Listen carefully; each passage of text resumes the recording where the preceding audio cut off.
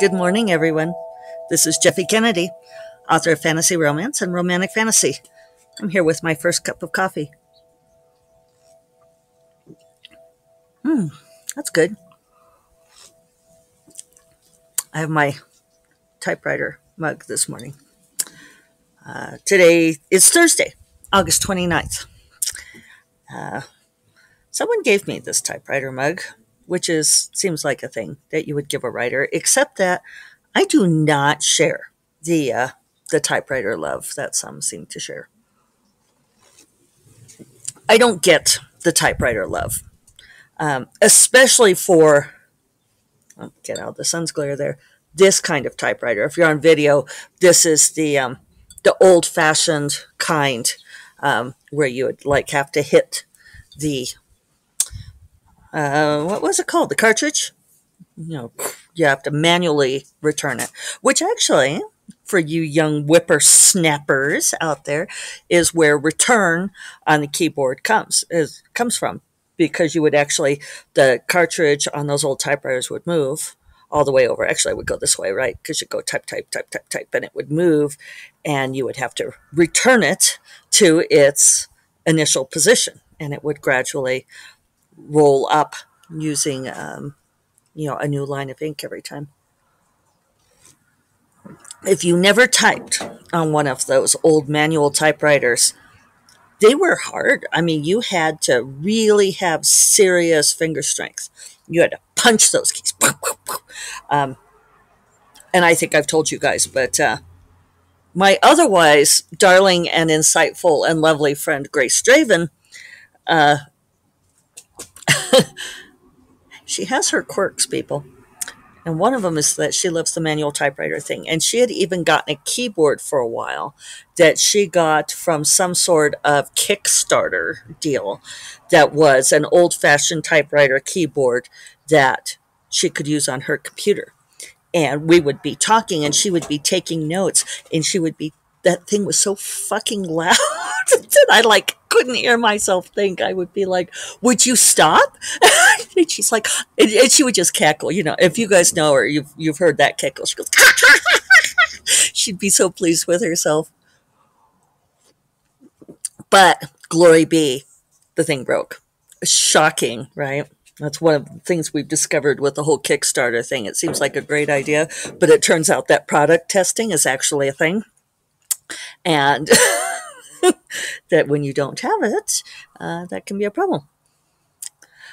So, um, I promised to answer a few questions today, do a little bit follow up on my talk Tuesday.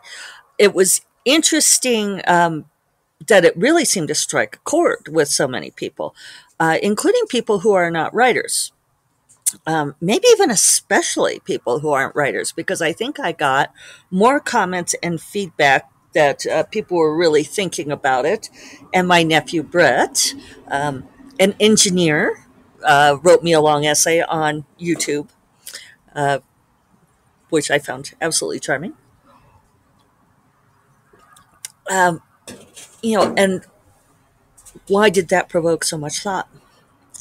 And some of it is is that question of success, which I do think bears revisiting. And some of you pointed out, you know, is why do we have this idea that more is better? And you know, and I have heard it explicitly stated by the by the success gurus, you know, that they always say, uh, if you're not growing, you're dying. That just comes from nature, people. That's what they'll say. That's my success guru voice. That just comes from nature. That's how the universe works. Well, it's not true, right? Um, yes, growth and death are part of a cycle, but uh, there there is also a maturation phase, and there is also in nature homeostasis, right? In fact, a great deal of nature is based on homeostasis. That you find a certain point where uh, it is, say, an ideal body temperature, or um, an ideal predator prey population. And nature moves towards balancing those things. Yes, there's some fluctuations as you go up and down. You know, like your body's thermostat works essentially like your house thermostat does, that it once you drop down to a certain amount, your body kicks up the metabolism to warm yourself up. Once you get too hot, it slows the metabolism, cool you down again. Um, and then, being intelligent creatures, we do all sorts of things to maintain it, but so do animals, right? Uh, and if you studied any ecology, you learn all sorts of animal behaviors that they do to um, help help maintain body temperature. You that's why you will often see, you know, like dogs pant. We we know that's why dogs pant because it's cooling. Let you emit a lot of hot, moist air from your mouth. Um, birds will sit with an open beak if they're hot. Again, exhaling that hot air, that hot core air so you get a little nature lesson again today. We won't talk about thigmotropism, but we will talk about uh, homeostasis. So you know that's that's one thing about the people who, um, and and I had a teacher like that once who was like, I don't make the rules, I just explain them.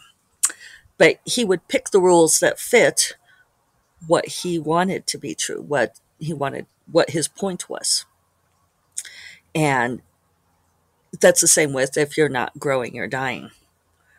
So, so yeah, that's a fine question. Why, why do you want to grow? Do you want to grow just because you feel like you should be growing? And, and yes, that's certainly a core part of our relentless um, American consumerism, which I understand has uh, bled out to many other parts of the world as well. That, you know, it's, um,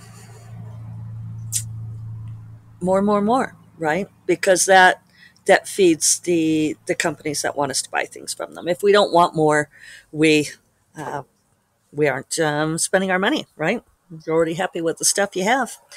As my uh, religious studies advisor in college told me, that if Christians really believed in what Jesus said at the Sermon on the Mount, there would be no shopping malls. We don't actually believe in all that. Yeah, worship that almighty dollar, and and you can see that in the you know the built-in obsolescence of, of so many of our goods these days. That you know, especially the electronics, that they are you know like I've had my um my VG30 V30 LG V30 phone for it's not even that many years since 2018 three years it was 2018 Yeah, fall of 2018. And so I've paid it off, which is nice. And Verizon is losing their fucking minds that I will not get a f- new phone. They call me and, and talk to me about new phones. And I, I'm gotten so I won't answer the phone if they call anymore. And, you know, it's like, you know, the first time I answered because I thought it actually might be important. but, um, you know, they, they really want me to buy a new phone. And my phone works fine. Thanks. So anyway, it's it's worth examining. Is there a reason that we want more all the time? Especially uh, for people as they get older are often scaling down. It's like I don't want such a big house. I don't want to have to maintain so much shit. so you know, and you become aware of that with somebody cleaning your house. Like I have somebody cleaning my house now, and I was looking for my most favored red Starbucks holiday mug, and it was um, way at the back of the top shelf, which is why I ended up with the typewriter mug, which came out of must have been in back. But you know, the ladies they go through and they clean, and it's great that they actually wipe out my cabinets, but then everything gets rearranged. but that's what happens when I mean we have far more coffee mugs than two people need, but they these things they accumulate, right? So, to answer a few questions about the publishing industry, though, because Brett asked some questions um, and put forth some uh, hypotheses, I suppose, or a premise. One is that he was operating on the premises that a good book will sell well which has a certain internal logic. Uh, and it's also based on an idea of a certain level of fairness in the world, I think. That we want to believe that good quality will always rise to the top. And I remember something that uh, my friend Kevin, first love high school boyfriend Kevin, said to me when I complained about Harry Potter because I'd read the first Harry Potter book and I said um, that I didn't get the magic, that I thought that it was, first of all, hugely derivative of many other books that I'd read, that it used very familiar tropes, and that uh, I didn't see any reason for it to be so wildly popular. And he said, Well, you mean as opposed to other things that become wildly popular in our consumer culture? And I was like, Well, well, that's true. um, yeah, just because trying to find a spot out of the sun dappling. I'm running late today. nice cool morning I slept in. Oops. One thing about waking up on your own calendar is you become very aware of how your body rhythms change with the season, seasons. And there's an autumnal feel in the air. And I definitely had that uh, wanting to stay snuggled into bed this morning. Feeling, and I did snuggle just a little too long. Okay, let's find this. Ah, there we go. Yeah, we're not going to be entirely successful, but I'll have to attempt not to move. So it would be nice if good books sell well. And those of you who have been listening to my podcast for a long time know that one of my least favorite pieces of advice is when some very successful author will be asked, you know, like, how do you get published? And they'll say, well, first of all, you have to write a really good book. Um, this is my least favorite advice. It makes me want to set my hair on fire because it, well, it's worthless advice. It's completely worthless. First of all, it assumes that you know how to write a good book. It also assumes that there is some sort of quantitative or qualitative measure of what a good book is. And then it assumes that a good book will automatically sell well. And none of these things are true. Uh, there are plenty of really good books that have only ever found a very, very small audience for whatever reason. And I'm sure we can all mention that. You know, occasionally there will be a Twitter thread on, you know, name one of your favorite books that you feel like more people should know about and inevitably you'll get someone in there who'll like recommend a Sarah J. Maas book, you know, and they'll get shouted down because it's like you fucking idiot. because more people don't need to know about Sarah J. Maas's books. Not that she doesn't write great books, but I was talking with a friend of mine the other day, an author friend who sells much better than I do and she's looking to sell more and better, and I'll explain why. But she was saying that she had read um, Sarah J. Maas and Jennifer L. Armentrout, and she said, "I I don't think that either one of them is a better writer than I am." She said, "Well, maybe." I can't remember. She said maybe Sarah J. Maas was a somewhat better writer than she is. And I said, no, she's not. I've read you both. And you're, I said, in many ways, you're a better writer because uh, my friend is is much tighter in some ways on plotting, um, but she's admittedly not as popular as Sarah J. Maas. You know, and, and she was telling me that her agent had looked up and she's like, Do you know did you know that Sarah J. Maas has sold like 36 million books? And I was like, I knew it was a lot. Um, you know, and, and go her. You know, that's that's amazing. But it's not because she's a better writer than my friend. Uh, it's not because she writes better books than my friend does. I, arguably, um, a number of my friend's books I think are better books. But there's a certain magic that Sarah J. Maas tapped into that galvanized people. You know, and another example of this is Fifty Shades of Grey, which is a book I liked fine. I mean, I enjoyed it. I I also read it before there was a lot of hype. I've told you guys this before, but um, you know, I thought it was fun for what it was. But there are many, many people who can point out legitimate major craft errors in the writing of Fifty Shades of Grey. Uh, and they'll argue that that makes it a bad book. But again, I think there's no it's subjective. There's no qualitative or quantitative measure. You could say, well, yeah, these things are not considered to be a good craft, but you can't call it a bad book because it also has sold hugely, you know, and E.L. James is worth $80 million or something like that. And it's not because she wrote a better book. So, logical fallacy there. Uh, what lights people up? Who knows? Why was Harry Potter, you know, the book of a generation? Just was, you know? And so much of this is right thing at the right time, uh, tapping into the cultural zeitgeist, uh, whatever.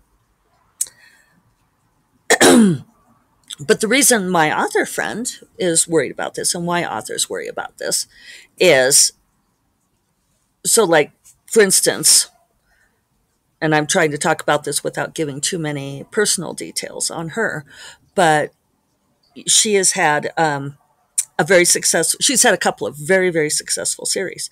And her last series was successful enough that they doubled her advance on this most recent series which is awesome and you know like doubling her advance is like quadrupling anything I've ever gotten. Something I, oh, I don't, I'm not, I don't know if she's ever told me her numbers, but you know, like I know that her scale is very different than my scale. And so that's great.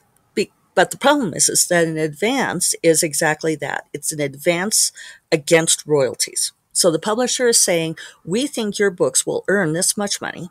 So because her other series earned this much money, the publisher was like, well, we'll give you twice as much as, as an advance because we believe you'll earn that out. And the early sales on this book are not looking like they will. She's worried she's not going to earn out. And you don't have to pay that money back, not unless you don't write the books. But it also means that, so for example, um, Orchid Throne, which came out in fall of 2019, has earned out its advance now but it just earned out its advance. Um, well, just this month, I got a check from the publisher for my share of the royalties, and I get a percentage of every copy sold. A small percentage, but I get a small percentage of every copy sold. And so now I'm actually getting what I think of as the gravy money because now it's it's earned out its advance and so now that book just generates money and that's great thing about books is that it will continue to generate money for the rest of its life but it'll probably gradually decline over its lifetime. I mean, they generally do, unless you like get an HBO miniseries or something like that, something that really kicks up the sales.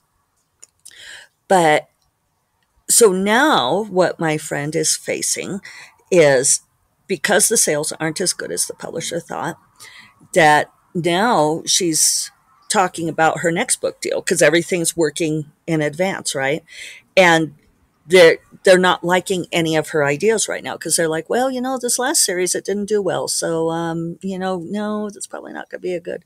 And so she's concerned because where does she go with her career now?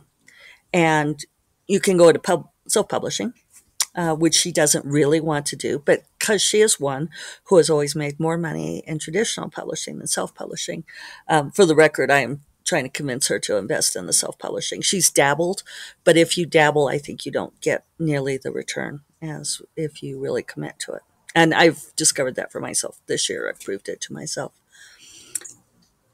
So, the other thing about getting a nice, healthy advance is that the publisher is out that money ahead of time. And so they put much more effort into selling the books. And I know it seems counterintuitive, but publishers do not always put effort into selling books. Um, it's mystifying to all of us, you know, especially for, you know, like the, the third book in a trilogy. If the trilogy hasn't been selling all that well, um, it's happened to me. It's happened to so many of my friends. The publisher will essentially punt. They will, yes, put the book out there, but they'll just put no effort behind it. They won't promote it. They sometimes they won't even distribute it. Um, I've had friends who have had books that were essentially abandoned, like they never made it to the bookstore shelves because the publisher just decides, eh, this book isn't going to sell, so I'm not going to put any effort into it. You know, you would think because they already put the money into publishing it that they would want to sell copies, but they actually don't. It's it's a weird business, people. It's just a weird business. So that is part of the incentive to sell more books and grow your audience. Uh, because otherwise, maybe it goes back to the growing and dying. They think that if you are not growing, that you are dying, and they're going to cut their losses and they're not going to invest in you anymore. So, so that's part of all of that. And there's my 20 minutes, and I'm running behind today. So I will discuss more tomorrow. I do have other things to talk about, and um, but thank you all for your feedback. It's been it's been an interesting conversation, and I, um, Brett, thinking about that S curve stuff, and I'm going to incorporate that somehow. So I will oh. remind you all that first cup of coffee, manual typewriter or not, is part of the Frolic Media Podcast Network, and you will find more podcasts that you love at frolic.media slash podcasts. And I will talk to you all tomorrow. Take care. Bye bye.